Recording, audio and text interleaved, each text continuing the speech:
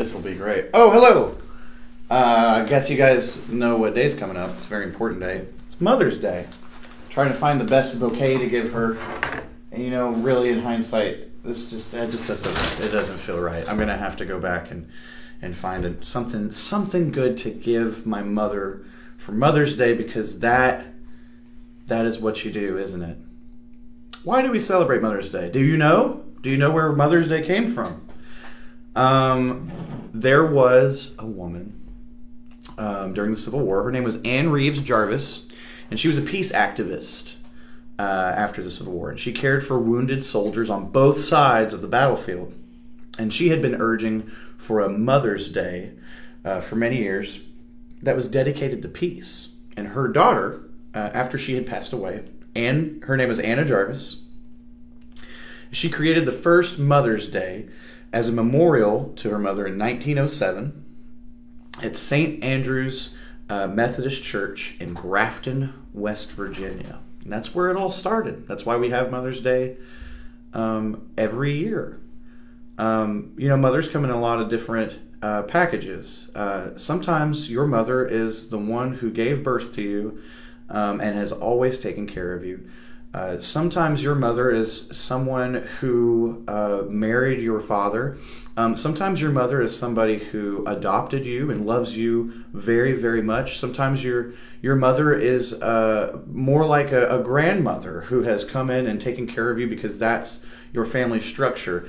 I, I don't care how this person is related to you. This is your mother. And Proverbs thirty one thirty one says this. Honor her for all that her hands have done, and let her works bring her praises at the city gate. Uh, no one has done more for you than your mother, whoever your mother is. Um, no one has done more for you than them. And uh, it's really important that we take time, you know, as often as possible, but at least once a year, uh, to realize how important a mother is and and how much they've done for us.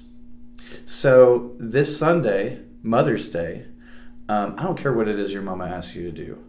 Uh, she may ask you to do the dishes. She may ask you to go to church. She may ask you um, to make her breakfast in bed. I don't care what it is. Whatever your mother asks you to do, she deserves every bit of it, and you better do it. If you don't do it any other time of year, please do it on Mother's Day. Um, God provided you with a father and a mother, and they both have roles, and your mother uh, had some very important jobs when you were just real little. She had to teach you everything that you know. She had to feed you and clothe you and make sure that you were healthy. Uh, your mother had to get you wherever you were going safely. Um, your mother had to advocate for you in a world where it's it's tough to, to raise kids. So please, my challenge to you this week, do something for your mother. Do something to appreciate all of the mothers in your life. Maybe it's not just your own mother or your own grandmother. Maybe it's a, a, a Sunday school teacher. Maybe it's a teacher at school uh, or you know somebody who has been a big part in raising you. You know, all this talk about mothers uh, makes me realize that I have a very excellent mother who uh, has done more for me than anybody. Um, she is constantly teaching me more and more about my faith in Jesus Christ and and what this Bible says. And uh, you know, I, I think uh, especially over this past year, it's been difficult to even get to see my mom. Um, so what I'm going to do is I'm going to call Dr. Reverend Tammy Garrison, my mother, um, right now, and I'm going to wish her a happy Mother's Day. I hope she answers. I'm sure she will. It's a Thursday afternoon. Hello. Hi, Mom. Hi, how are you? I'm doing good. It's good to hear from you. Well, yeah, I miss you. I know. Well, over the past year, there's not been a lot of time that we've been able to spend time together. That's right. I know we're finally we're going to be able to have a Mother's Day get together this Sunday or Saturday, Saturday rather. Right. You know, because you know working in a church. Um, but I wanted to call you and I wanted to tell I wanted to thank you because nobody has done more for me than my mother. Oh. And you well, know that's it's because true. I love you so much. Well, and I love you too, Mom. But I want you to know that uh, we are talking today on our show about um, about how mothers are very important and they have a very important role in our lives, and we need to remember to thank them and appreciate them for all that they, all the things that they've done. So I appreciate you, Mom, and I love you. And I well, hope I love you too, and thank you. I hope you're having a wonderful day, and I can't wait to see you this weekend. yeah, I'm excited.